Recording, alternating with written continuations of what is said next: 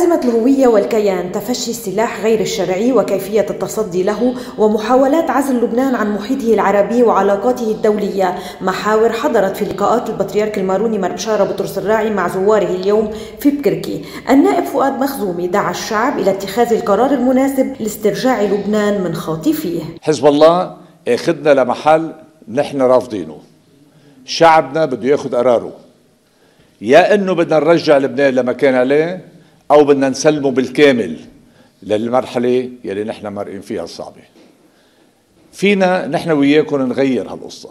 فينا نحن وياكم نرجع لبنان من خاطفيه يلي هن حزب الله والمنظومة الفاسدة. لما منشوف إنه في محاولة لتسكير وإعطاء براءة ذمة لكل العمليات يلي صارت ما قبل سنة 2022 المالية بواسطة هالنظام يلي بالآخر فلس البلد. لما نشوف في محاولة إنه يمرقوا capital control يلي مبدئيا بده يعفوا ويروحوا لنا كل مصرياته وما تبقى ويمنعوا إمكانية المواطن يرجع مصرياته. هذه بس نموذج عن اللي مارقين فيه. ليه؟ لأنه حزب الله حابب ياخذنا على نظام تهريب على نظام حدود مفتوحة على نظام الكبتاجون على نظام عملية العمليات الإجرامية.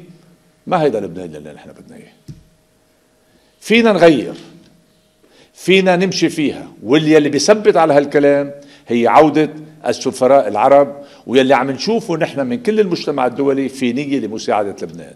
حزب الله حلمه إنه لبنان ينسيه العالم. خلينا نطمنه لحزب الله لا العالم رح يضل واقف معنا.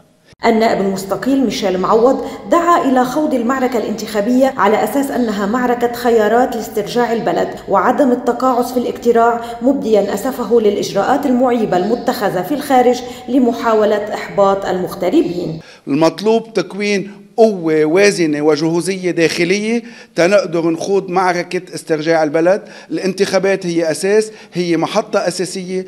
ممنوع نقرف ممنوع نحبط. ممنوع نتخلى عن واجباتنا للتغيير إن كان جوا وإن كان برا. وأكيد الصوت الاغترابي هو صوت الضمانة. إذا الاغتراب هو شريك أساسي باستعادة لبنان وإعادة بناء لبنان المستقبل. وإيه عم بيحاولوا يقرفوا وإيه أنا أكيد إنه هالاغتراب حيتحدى كل التحديات حيربح على كل التحديات وحيجي وحينتخب وحيساهم بتغيير بالتغيير بلبنان. والخلاصة المطلوب تغيير جذري على مستوى البنية السياسية في البلد. جوزيفين أبي غصن صوت لبنان بكركي.